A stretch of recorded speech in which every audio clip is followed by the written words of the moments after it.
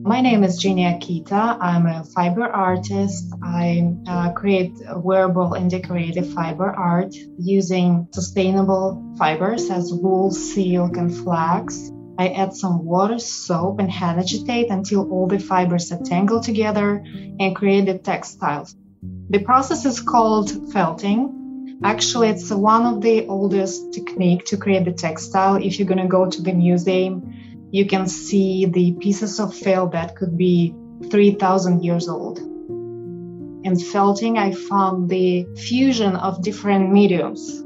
So when you create the sculptural aspect and uh, you can paint on top of the felt and uh, you can hand dye you can use the natural dyes as leaves and plants so it's a lot of the sustainability you can you can use in felting uh, to create the art and a lot of the art aspect like a painting and the sculptural so I use the templates, like a 3D templates. I layer the loose fibers around the template, then add water, soap, and hand agitate. And it's some sort of like I would I would compare it like a massage to the fibers on, on surfaces of the fibers until all the fibers are tangled and create the textile.